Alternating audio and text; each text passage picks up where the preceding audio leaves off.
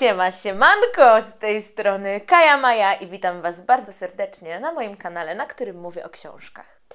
E, przede wszystkim, na wstępie tego filmiku, e, chciałabym serdecznie pozdrowić Martynę, która mi podała dużo fajnych pomysłów na pięć książek. Dzięki Martyna, E, na pewno skorzystam. Fajne, naprawdę w ogóle nie patrzyłam w tą stronę, jak można pociągnąć tą serię 5.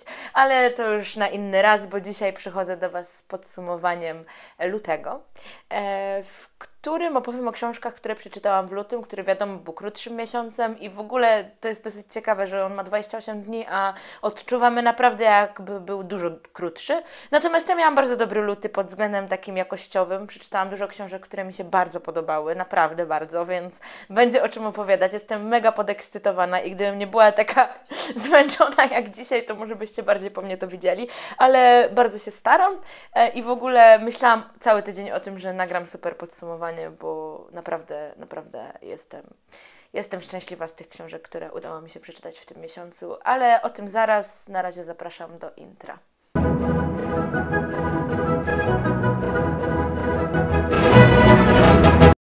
I miesiąc zaczęłam z kolejną książką Friedricha Bachmana i tym razem był to mężczyzna imieniem Uf. Tak myślę. E, znaczy ostatnio to sprawdzałam na Google Tłumaczu i było Uf, więc mężczyzna imieniem. tak. E, I jest to historia, o której ostatnio jest bardzo głośno w związku z ekranizacją. Naprawdę bardzo głośno, wszędzie tą książkę jakby było widać. E, pod tytułem Mężczyzna imieniem Otto z Tomem Hanksem, na pewno kojarzycie chociaż trochę. E, ja jeszcze ekranizacji nie widziałam, mimo że się wybierałam, ale się nie udało, ale może jeszcze gdzieś grają, to mi się uda. Ale nie o tym będę mówić, będę mówić o książce, a książka jest o mężczyźnie, który ma już swoje lata, bo ma koło 50, przepraszam, koło 60.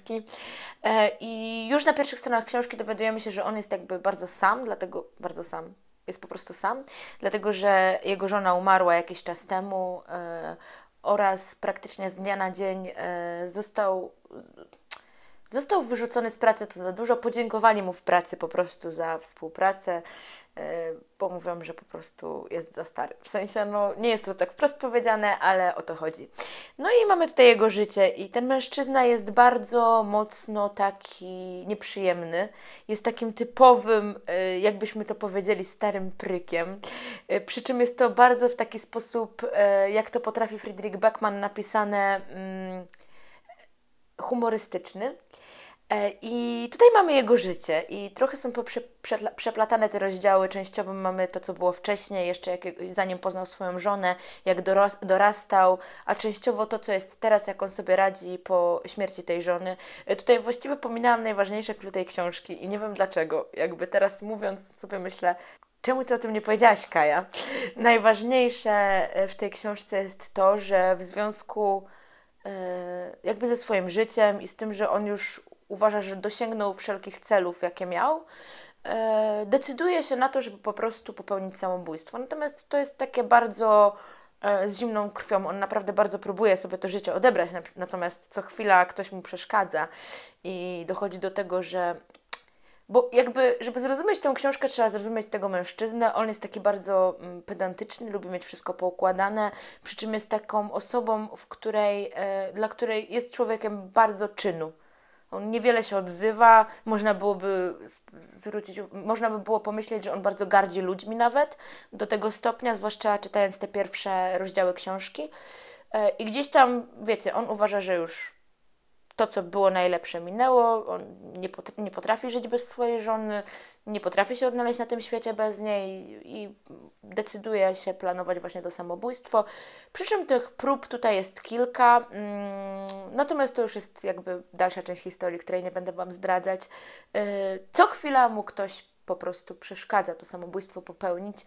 Yy, I o tym jest książka właściwie, o tym takim poszukiwaniu siebie w starym wieku, ale też o historii człowieka, który e, jest bardzo mocno mm, wyobcowany w społeczeństwie, dlatego że nigdy nie potrzebował zbyt wielu słów, żeby udowodnić, jaki naprawdę jest. I bardzo lubię takie motywy w książce. To jest książka o człowieku, który dużo pracował, dużo z siebie dawał, a był tak naprawdę taki gdzieś tam zawsze na uboczu. To jest taka książka o bardzo kameralnym życiu, i o tym, że naprawdę czasami nam się wydaje, że ktoś że ktoś żyje gdzieś tam z tyłu, a ma bardzo duży wpływ na bardzo wiele rzeczy. I, i myślę, że mężczyzna imieniem jest właśnie taką historią. Przy czym Friedrich Bachmann typowo dla siebie gdzieś tam utrzymuje tą książkę na e, wysokim, wysokiej stopie poczucia humoru, ale też ta książka jest naprawdę wyciskająca łzy i ta końcówka, to jak, jak się kończy ta historia, ale też przede wszystkim e, te retrospekcje związane z życiem Uwa, Uwego naprawdę bardzo mocno uderzają do serca y, czytelnika. Y, jego historia jest niesamowita. Jego relacja z, z ojcem jest przepięknie napisana. To, w jaki sposób on swoją pracą starał się i tylko i wyłącznie czynami tak naprawdę być tylko i wyłącznie dobrze postępującym człowiekiem, gdzieś tam prawym. Y, jest ciekawe, ja wspominałam o tym dużo razy przy okazji mówienia ostatnio o książce y, Niewidzialne życie Tsukuru Tazakiego, coś takiego, y, Haruki Murakamiego, że mm, ja bardzo lubię takie motywy w książkach, gdzie gdzieś tam praca gra główną rolę, a tutaj myślę, że jeżeli chodzi o Uwego, to bardzo, bardzo gdzieś tam to na pierwszy plan się wysuwa. Naprawdę przecudna książka. Ja dalej jestem oczarowana Friedrichem Bachmanem, więc serdecznie Wam ją polecam. Naprawdę przeczytajcie. Może odczekajcie chwilę, aż ten hype na tą książkę minie. E, natomiast ja teraz się będę zabierać za Beer Town tego autora i naprawdę lecę dalej, patrzę, co tam jeszcze można przeczytać, bo za każdym razem on mnie gdzieś tam zaskakuje. Idziemy dalej.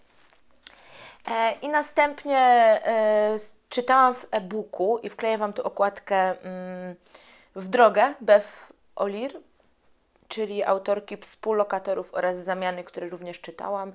Gdzieś tam od czasu do czasu e, lubię właśnie czytać takie lżejsze książki. I wiecie, to jest książka o naszej głównej bohaterce, która której imienia nie pamiętam w ogóle, bo mi totalnie wyleciała ta książka z pamięci pod względem takim no, nie pamiętam. W każdym razie mamy główną bohaterkę. Rzadko mi się to zdarzy, że nie pamiętam głównych bohaterów imion. Nieważne. Mamy główną bohaterkę, jeszcze raz i ostatni to powiem, e, która jedzie na wesele swojej przyjaciółki. No i ona jedzie na to wesele i dochodzi do stłuczki i okazuje się, że y, to jest stłuczka z jej byłym chłopakiem, no i teraz oni muszą wszyscy jechać razem. E, I to jest takie trochę pranie brudów, bardzo mocno mm, takich brudów w stylu, nie wiem czy oglądaliście plotkarę, to bardzo mocno tam są takie właśnie brudy w tym stylu. Gdzieś tam wspominanie starych czasów e, i ta wspólna podróż, która uziemia ich tak naprawdę w jednym miejscu. Oni po drodze przeżywają, e, przeżywają jakieś tam przygody i oczywiście muszą dotrzeć na czas na to wesele, a e, trochę kilometrów mają, bo jadą z Anglii do Szkocji e, i po prostu są duże korki na granicy, różne tam problemy. Książka to jest tak naprawdę romans, obyczaj, coś w tym stylu i jest bardzo lekka. Ja po jej skończeniu nie myślałam o niej za dużo, natomiast zostając przy Beth O'Leary, Leary, nie wiem jak się czyta to nazwisko, e, to chyba to jest książka tej autorki, która mi się najbardziej podobała. Wydaje mi się, że to wynika z tego, że gdzieś tam są wspomniane te stare czasy, dużo takich e, może mocno naciąganych historii, ale gdzieś tam takich, co się przyjemnie czyta. E, uważam, że zamiana ich współlokatorzy byli gorsi, pod tym względem i gdzieś tam ta książka bardziej mnie do siebie przekonała, więc jeżeli szukacie czegoś, przy czym e, miło odpoczniecie i spędzicie czas, czas, to myślę, że w drogę jest jak najbardziej w porządku. Nie była to jakaś wygórowana i niesamowita lektura, zwłaszcza, że praktycznie mało o niej myślę w ogóle pod tym czasie, a czytałam na początku miesiąca, ale uważam, że jak najbardziej mogę Wam ją polecić.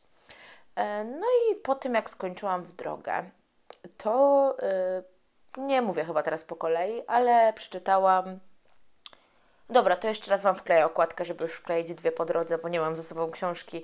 Skończyłam studnie, studnie wstąpienia Brandona Sandersona, czyli drugi tom. E, ostatniego imperium, musiałam przez chwilę pomyśleć, e, czyli kolejna część po e, zrodzonym.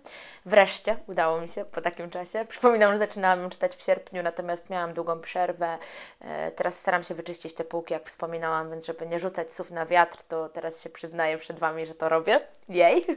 E, tak, studnia wstąpienia. To dopiero była fajna lektura, natomiast jeszcze tak mówiąc o moich odczuciach co do niej, zacznę tak od odczuć na odwrót powiedzmy, to chyba, chyba trochę gorzej wypadła niż z Mgły Zrodzone jednak mimo wszystko, chociaż wiem, że bardzo dużej ilości osób podoba się bardziej. Ale to minimalnie, naprawdę minimalnie. Dla mnie z Mgły Zrodzone był taką lekturą, która po prostu mnie wręcz wmiotła w fotel. E, tutaj też miałam to wrażenie przez chwilę, ale trochę mniejsze.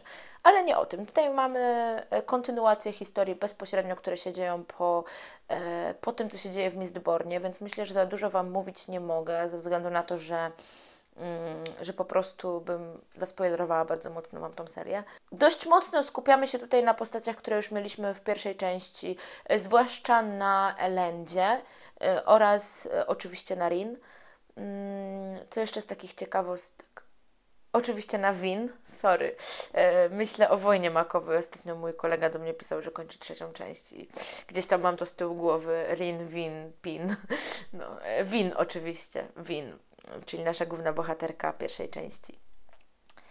Eee, kurczę, dużo mogłabym Wam powiedzieć, ale chciałabym nie wchodzić w takie spoilerowe e, tematy. Książka kończy się bardzo interesująco. W ogóle e, dużo takiej dynamiki mamy w postaciach tutaj. Nie będę mówić których, ale praktycznie w każdej. E, I to jest bardzo, bardzo dobre i to jest to, co ja lubię w fantastyce, bo jak mamy długie książki, to gdzieś tam jest niedobrze, kiedy postacie są zbyt statyczne, stateczne. A tutaj tego nie mamy, tą dynamikę widać, jak oni się zmieniają w czasie właśnie, jak wpływa na nich środowisko mocno. E, bardzo mi się podobało. Jakby chcę od razu kontynuować y, trzecią część i myślę, że zrobię to w tym lub następnym miesiącu. Nie chcę rzucać słów na wiatr oczywiście, jak zwykle. Później mówicie, Kaja, miałaś zmienić intro pół roku temu takie komentarze dostawałam od Was i, i, nie zmieniłam tego intra, więc, więc nie będę mówić, że przeczytam w następnym miesiącu, ale na pewno w najbliższym możliwym czasie się za nią zabiorę. Yy, trzyma poziom ta seria. Ja bardzo lubię Brandona Sandersona. Na pewno ta druga część jest lepsza niż Wśród Gwiazd, które już podobało mi się mniej. Ale kontynuując już książki, które mam ze sobą, y, to następne, co przeczytałam, to idąc tak e, z falą tego, co jest teraz popularne. E, przeczytałam, e, cieszę się, że moja mama umarła, Janet McCarthy, czyli aktorki, którą możecie znać z serialu iCarly, bo grała tam sam i chyba to jest taki, taka jej najpopularniejsza rola z e, dzieciństwa. I teraz tak, to jest jej biografia opowiadająca o tym, jak dorastała z mamą, e, która była bardzo mocno nadopiekuńcza przede wszystkim, ale też bardzo mocno toksyczna, ponieważ e, jej mama bardzo chciała być aktorką i to jest opowieść o tym, jak praktycznie wymusiła na Janet to, żeby ona sama szła w to aktorstwo. Książka niesamowita. Ja gdzieś tam bardzo rozumiem to, dlaczego ona jest tak lubiana. E, może nie zrobiła na mnie aż tak wielkiego wrażenia, jak się spodziewałam, natomiast niektóre tematy, które są tu poruszane, są naprawdę e, bardzo, bardzo mocne. Też oglądałam trochę wywiadów e, na temat tej książki właśnie z, z Janet. książka jest utrzymywana w takim tonie, że ty sam masz się domyśleć, co jest nie tak, ale widzisz, że coś jest nie tak. Czyli jeżeli opowiada Janet o swoim dzieciństwie, to nie mówi wprost, co jest źle, tylko opowiada o tym, jak było. I to jest trochę takie mocno przerażające, bo my to czytamy i my tak do końca, wiecie, do pewnego momentu możemy się nawet nabrać, że nie jest tak źle, jak jest naprawdę. Ale to, co się dzieje już po, po śmierci Janet i co jest opisane w tej książce, yy, taka jej połowiczna rozsypka, to jak ona nie potrafi żyć z osobą, która całe życie nią, bez osoby, która całe życie nią sterowała, jest naprawdę zaskakujące, zadziwiające i, yy, i niesamowicie w ogóle takie yy, dające do myślenia. E, polecam książkę, nie musicie lubić biografii, żeby ją czytać. Naprawdę posiada bardzo dużo takich mocnych cytatów. E, opowiada historię, którą czyta się, jakby nie była prawdziwa a jak już dochodzi do nas to, że jest prawdziwa, to już w ogóle jesteśmy tacy, no mamy takie aż ciary po prostu y, zastanowienia się nad tym, jak i dlaczego w ogóle do tego doszło.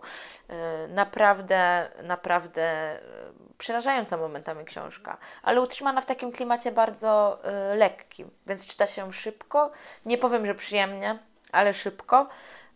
I naprawdę bardzo ładnie jest napisana, a Janet przez całe życie gdzieś tam chciała zostać pisarką, więc e, trochę fajnie, że jej się udało w końcu. Co prawda, może nie chciała pisać o swoim życiu, ale, ale gdzieś tam na pewno to czuć, że ma ten dryg do pisania. Pewnie to przyszło przez milion korekt, ale historia nie dość, że prawdziwa, to jest tak napisana bardzo po prostu ładnie. I, i ja to doceniam. Podobała mi się ta książka bardzo. Więc polecam właściwie. I następnie zrobiłam sobie read Arystotelesa i Dantego, y, którzy odkrywają sekrety wszechświata, dlatego że jestem już prawie w połowie drugiej części. Myślałam, że mi się uda skończyć do końca lutego, ale się nie udało. No i w związku z tym, że kupiłam drugą część, to chciałam sobie odświeżyć pierwszą część, y, która bardzo mi się podobała. Jeszcze chyba po czasie bardziej niż za pierwszym razem, jak czytałam. To jest jakby. To jest historia y, Arystotelesa, ponieważ on jest głównym głównym narratorem tej historii. Historii, która jest pisana z pierwszej osoby, czyli Arystoteles pisze po prostu o tym, co widzi i co wie i co słyszy. No i pewnego, pewne, w pewne wakacje poznaje Dantego i między nimi się rodzi bardzo y, taka y, przyjaźń, dosyć mocna i gdzieś tam ona się przez całą tą książkę ciągnie. Y, oni akcja się dzieje gdzieś tam w latach 80., no i oni po prostu spędzają razem czas. Mają 16 lat. Arystoteles też jest taką postacią, który, która jest bardzo mocno introwertyczna. On nie posiada za wielu przyjaciół. Właściwie mm, przy rozpoczęciu tej książki nie posiada żadnych przyjaciół. E, a gdzieś tam Dantemu e, się udaje do niego dojść i po prostu wspólną przyjaźń łączyć. E, I właściwie o tym jest książka. O dorastaniu, o tym, co oni tam sobie mm, myślą, w sumie co Arystoteles głównie myśli. Bardzo duży, dużą, dużą przestrzeń e, tutaj zajmują rodzice. E, wakacje, szkoła, to myślenie o przyszłości, i takie, taka naiwność dziecięca, ale też takie przemyślenia ma Arystoteles, które myślę, że bardzo dużo e, osób miało z nas, kiedy dorastało, o jakimś tam wyobcowaniu, zastanawianiu się nad pewnymi sprawami, rzeczami. E, naprawdę bardzo wartościowa książka pod takim względem właśnie dorastania, gdzieś tam myślenia o tym, o czym już teraz chyba nie myślimy, jak jesteśmy dorośli, ale jak mieliśmy te 16 lat, to zaprzątało nam to głowę i gdzieś tam mocno tak e, z Arystotelesem znalazłam wspólny język i mimo, że już minęły dwa lata od rereadu i ja jestem coraz starsza, bo młodsza nie będę, to gdzieś tam ciągle doceniam to i pamiętam, jak ja się czułam i dlatego e, jak byłam w wieku Arystotelesa. I bardzo wiele mamy takich myśli wspólnych, dlatego ta książka tak bardzo mi się podoba. I myślałam, że już po czasie będzie mniej, ale jednak e, okazało się, że nie że odczuwam ten klimat. Ja bardzo lubię też książki takie właśnie retro, to są te lata 80., e, nie ma telefonów, gdzieś tam bieganie po podwórku, e, korzystanie z młodości. No i, i podobało mi się to, naprawdę. I to jest niesamowite, że drugi raz to czytam i drugi raz tak samo, a nawet bardziej doceniam tą historię. E, co do drugiej części, to myślę, że powiem Wam w podsumowaniu marca, co na jej temat myślę. Zbiera opinie gorsze, ja nic nie powiem na razie, bo jestem tak przed połową, więc nie chciałabym Wam zdradzać e, tego, co, co już jeszcze Wam powiem w przyszłości. Byłabym bardzo niemiła, gdybym Wam spoilerowała swoje odcinki, więc e, przejdziemy do następnej książki, a ja Wam serdecznie polecam. Poli idzie dalej Arystotelesa i Dantego, zwłaszcza jak macie to naście lat, to myślę, że docenicie lekturę bardzo mocno. Chociaż na pewno nie każdy myśli tak jak Arystoteles, ale ja się cieszę, że znalazłam książkę, w której właśnie główny bohater bardzo mocno pokrywa swoje emocje z tym, co ja odczuwałam kiedyś. I, i fajnie, że mogłam do tego wrócić i gdzieś tam to współodczuwać z nim. Naprawdę cudownie. I następnie, następnie, następnie mam e, jeszcze w sumie tak dwie i pół ostatniej książki. E, to przejdziemy najpierw sobie do, e, do, do, do blizny. Do blizny. Do blizny po prostu. Nie każcie mi, błagam. czekajcie, czekajcie, czekajcie. Adur Ava Ilas Fedurti. Dutir. Dutir. Ulasvsdytir. Prawie się udało. E, blizna. Blizna ma trochę podobną tematykę do mężczyzny imieniem Uf i myślałam o tym, jak to czytałam, bo tak nie tak dawno w sumie skończyłam bliznę, jakiś tydzień temu, niecały, powiedzmy. E, dlatego, że mamy tu głównego bohatera, który e, to żywa średniego wieku i on w sumie planuje się zabić. I on to samobójstwo swoje bardzo skrupulatnie planuje, zastanawia się w jaki sposób to zrobić, e, czym, gdzie. E, I bardzo istotną częścią tej historii jest to, że on również jest jakby samotny, dlatego że dowiaduje się, że jego córka nie jest jego córką, a jego żona go zostawiła, więc jakby jest też sam, e, co trochę w sumie przypomina też Uwego, przy czym tutaj to są trochę inne książki pod względem takiego odczuwalności, ale jakby sam, sama historia jest dosyć podobna, ten początek. E, no i nasz główny bohater, e, który się nazywa Jonas, E, decyduje się wyjechać w podróż do pewnego kraju, który jest owładnięty wojną, żeby tam się zabić. No bo stwierdził sobie, że lepiej się zabić w miejscu, w którym i tak ginie bardzo dużo ludzi.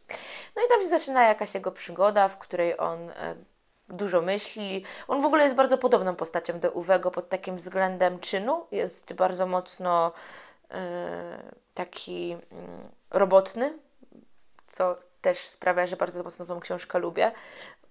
Ona jest ciekawa, dlatego że tutaj e, bardzo polecam ją przeczytać na raz, ale ona pozostawia tyle płaszczyzn do zastanawiania się nad tym, co tu się właściwie wydarzyło. Bardzo mocno jest taka do interpretacji i lubię to w niej.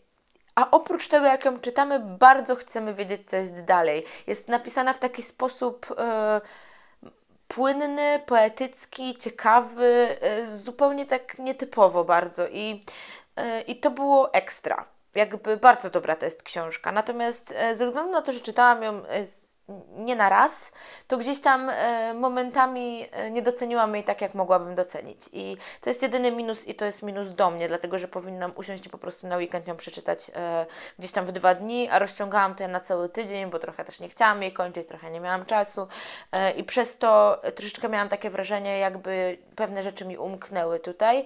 No i też polecam ją czytać z kimś, żeby na bieżąco sobie pewne rzeczy update'ować i rozmawiać ze sobą na temat tego, co się w tej książce dzieje, dlatego że ona pozostawia bardzo, bardzo, naprawdę bardzo wiele y, miejsca do tego, żeby pomyśleć nad tym, y, co właściwie się tutaj wydarzyło w tej książce.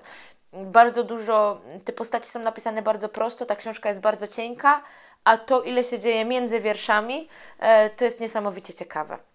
I jak ją skończyłam, to miałam bardzo dużo właśnie takich przemyśleń, co tu się właściwie wydarzyło, ona się zamyka, ta historia, bardzo mocno tak otwarcie, bardzo mocno e, właśnie z taką przestrzenią dużą dla czytelnika. Nie jest to historia, która jest mocno zamknięta.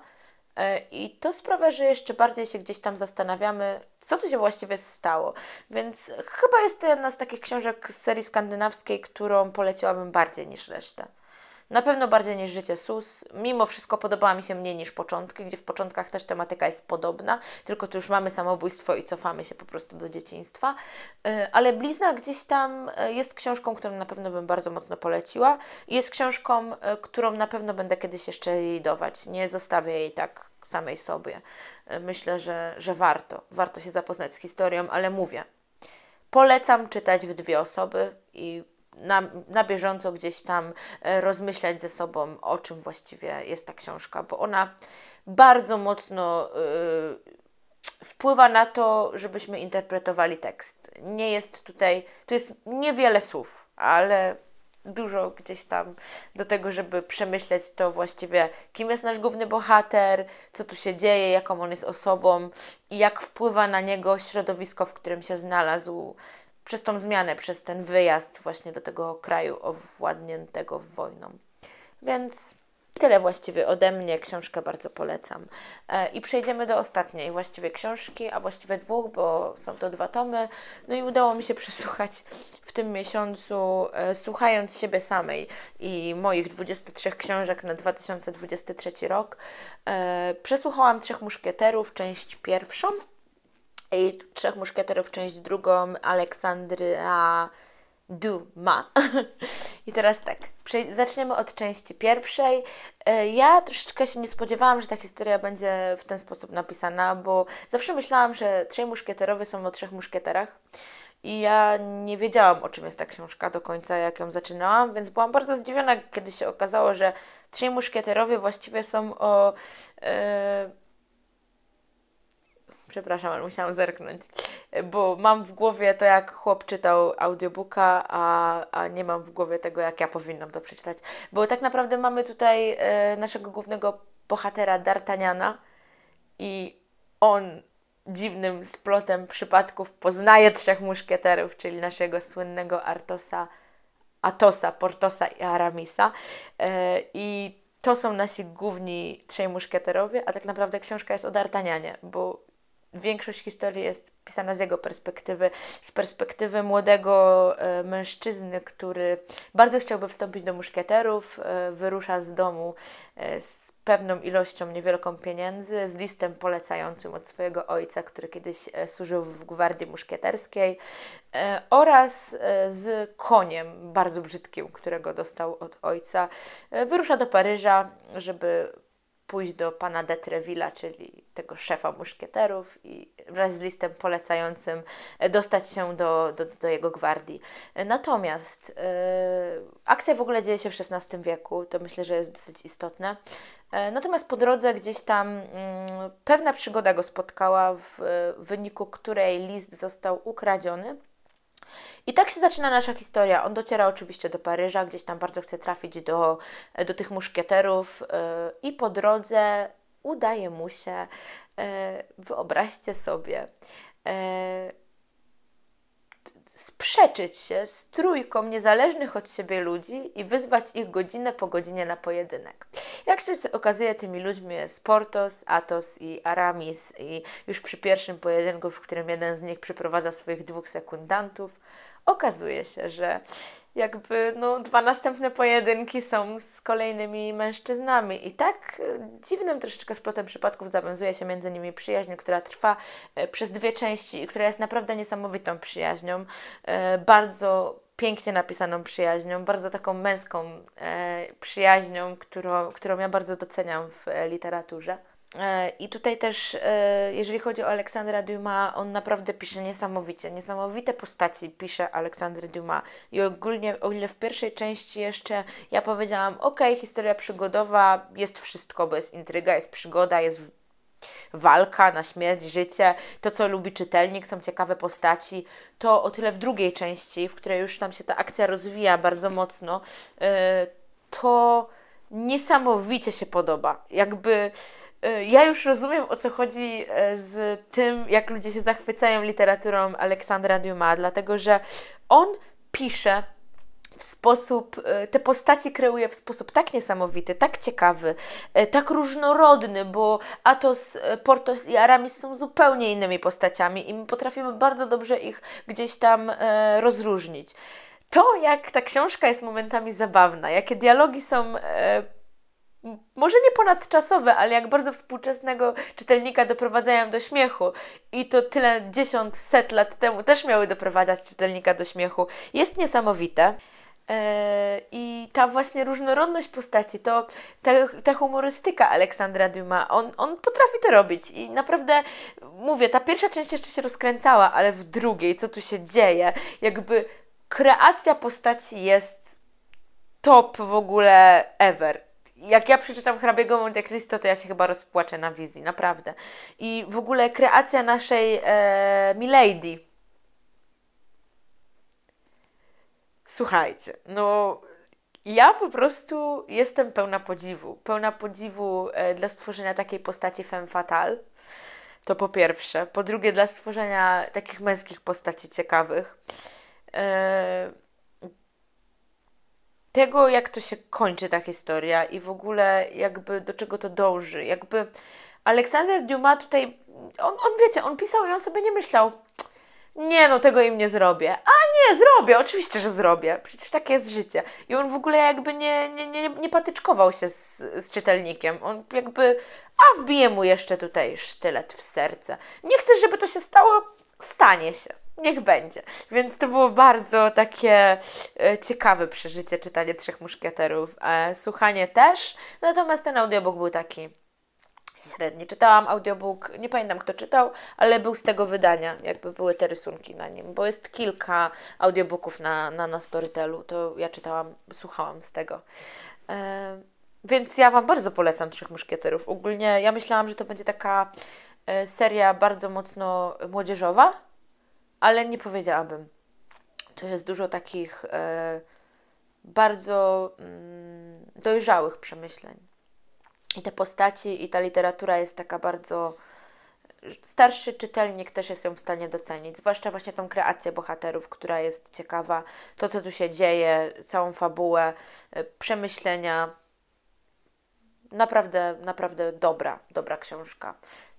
Aż po prostu się cieszę na to, że niedługo będę czytała hrabiego Monte Cristo, bo po spotkaniu z trzema muszkieterami, co specjalnie zrobiłam w tym, w tym specjalnie to zrobiłam w tej kolejności, bo jednak hrabia jest troszeczkę bardziej e, chyba docenianą lekturą niż Trzej Muszkieterowie, to po pierwsze. Po drugie, wydawało mi się, że Trzej Muszkieterowie będą gorsi. W sensie, że będą że będą delikatniejsi, że będą właśnie bardziej taką przygodą niż Hrabia Monte Cristo, więc ta, ta kolejność jest specjalna, to, to była bardzo długa dygresja, która dalej trwa, to, bardzo, to jeszcze bardziej się cieszę właśnie na sięgnięcie po, e, po, e, po hrabiego Monte Cristo i uważam, że to był dobry wstęp i dobre spotkanie, bardzo dobre z e, Aleksandrem Dumas.